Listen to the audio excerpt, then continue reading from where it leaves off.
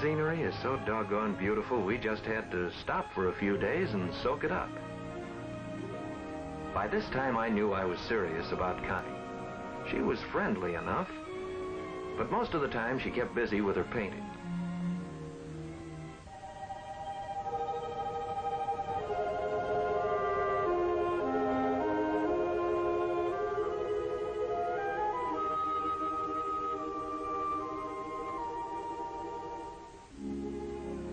Will you tell me something? Sure. What's the matter with me? I don't lose anything, you son. You got your heart set on getting over the other side of the ocean and covering the big stories, and of course you're thinking about Connie. I've been thinking a lot about Connie. What kind of a guy is this Ted Newell? Oh, Ted's all right. Kind of opinionated about some things, but he's solid. I see. Does Connie... Oh, I'm not taking any sides in this thing.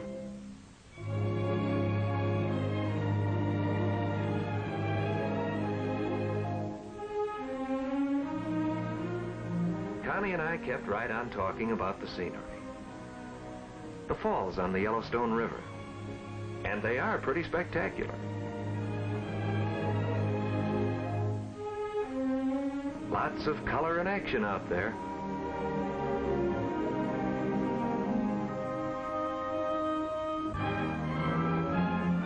Right on schedule, Old Faithful blew her top.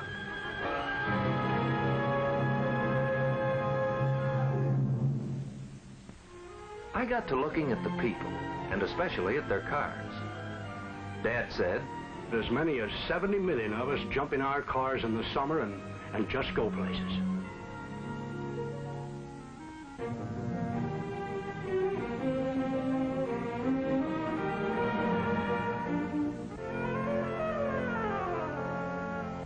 Then we took a big swing through Montana.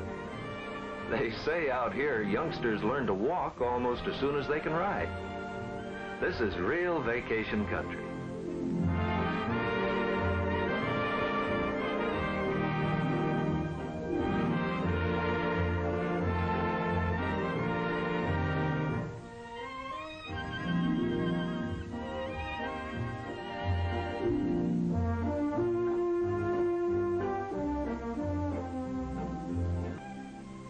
Got into the lowlands of Montana in time for the wheat harvest.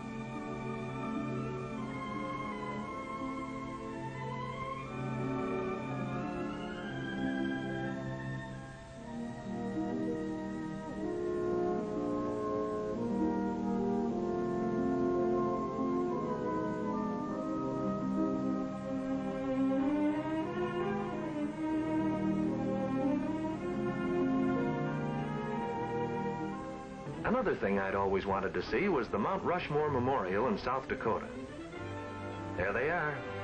Washington, Jefferson, Teddy Roosevelt, and Abe Lincoln.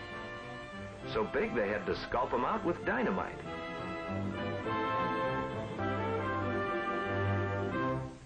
Old Mother Nature did some sculpting of her own in South Dakota's Badlands. But you know, they have a kind of eerie beauty all their own.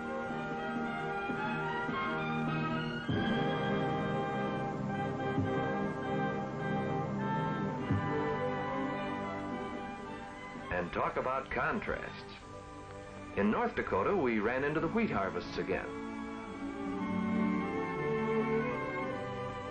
From there, we drove over to Itasca Park in Minnesota, where the trees grow green and tall. And every breeze makes its own kind of poetry in the treetops.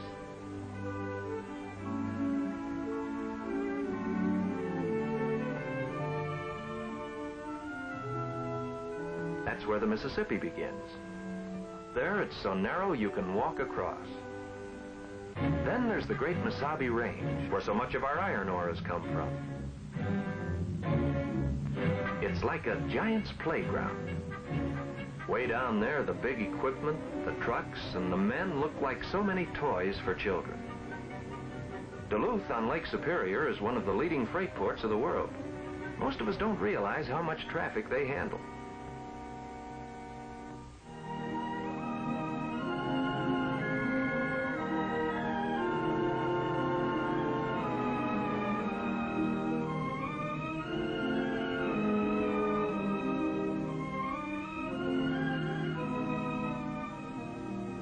As you drive down from Minnesota into Wisconsin, you're in another perfect vacation land.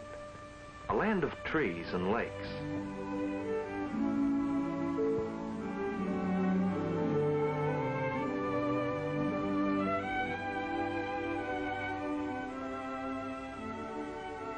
It was beside one of those Wisconsin lakes that I finally made up my mind to speak to Connie. Hi, Dale. I was just fixing my hair. Isn't that view something? Yes, it is. But I'd rather look at you. You're beautiful, Connie. You know, all the way from Michigan, I've been wondering just what I was doing. Dale, you've been wonderful. Both Dad and I appreciate it. Connie.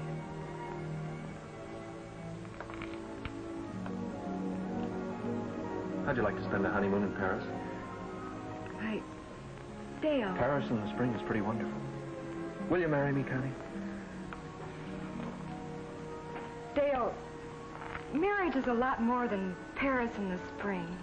All right, then. Summer, fall, winter. That's just it. You and I are a thousand miles apart. Oh, don't say no, Connie. Won't you at least think about it? Anyway, she didn't say no. Then we drove down along the Wolf River, headed for the Wisconsin Dells.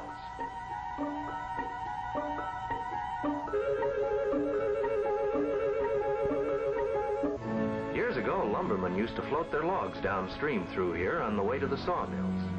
We saw the sights of the Dells. Stand Rock. The weird rock formations.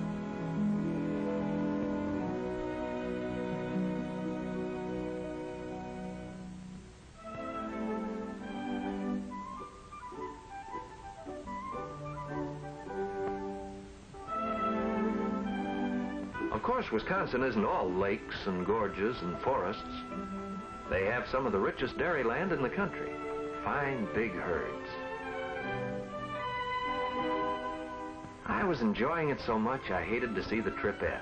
I tried to stretch it out as long as I could. For instance, we drove back west a ways to take in the Iowa State Fair. You know, I'd never been to a fair like that before, and I'd missed something. Dad took off to the trotting races. Connie and I, well, we just had fun. For a day, I forgot all about Paris and my job there. And I hoped Connie was forgetting about her Ted Newell.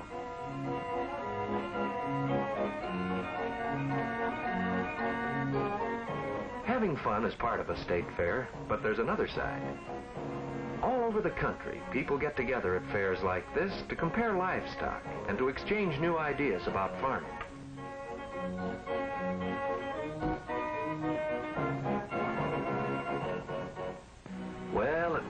Vacation. But like all good things, it finally came to an end. Connie and her father lived in a pleasant, small town with a town square and a bandstand. They had a comfortable white house on a shaded street. And it was on their front porch that I finally met Ted Newell. So you're Dale Bennett. I've had so many letters from Constance about you, I feel as if I knew you. Mighty nice of you to pull them around. It was nice for... And I wanted Constance to try out this notion of hers. You know, painting things, trying to sell them. A lot of fun, but no way to live. Well, now, Frankly, I hope she has it out of her system. I want her to keep on painting, of course, you know, as a hobby. But we have other plans, which seem to me to be, well, just a little bit more important. Well, I've got to run. See you later.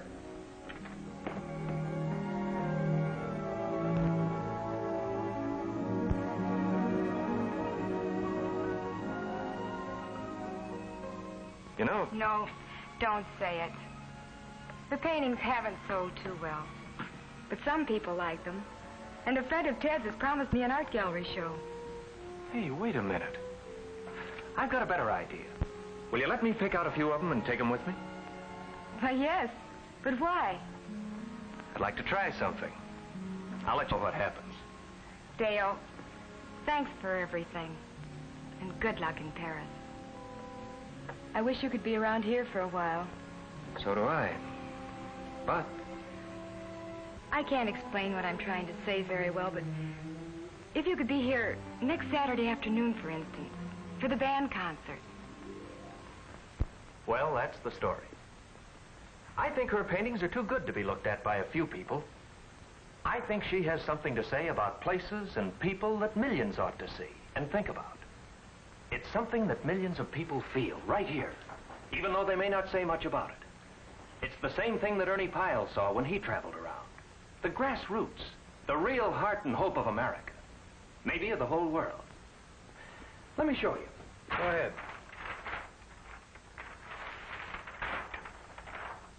Why, look. You can see it right in the face of this boy with his prize-winning cat. It's as big as our whole country. But it's alive in this scene of a sheep herder, off all by himself, alone. But a part, and a mighty important part, of the way we work together. It's right there in the face of this roustabout in a new oil field. It's in the faces of all these people. But it starts right close to the earth. Look at this small town. Then add our farms, our cities, and our industry. And you discover the real secret of America right here in the Middle West. Don't you see what I mean? Think about printing one of these pictures every Sunday. Let millions of newspaper readers see them and maybe understand this country a little better. I like them. Better yet, I like what you say about them. You give me an article in each painting, Dale, the way you're talking now, and it's a deal. Then we can talk about when you go back to Paris. Back to Paris. Take this new point of view back with you. Give me this kind of story about the people over there, the places over there. Warm human stuff. Give me the same thing from Europe. But it isn't the same. People are people around the world. Yes, but what I'm talking about. What I've seen in the faces of these people. What's in their lives, their hearts, their hopes, their opportunities. That's something alive right here in the Middle West. Why, I just suddenly realized that this is the only place in this world today where I can find the things I want to talk about. This is a wonderful place for a vacation, sure. But more than that, this is where I want to put my roots down, to work and live. I've just talked myself out of the Paris job, haven't I? What's the matter with you?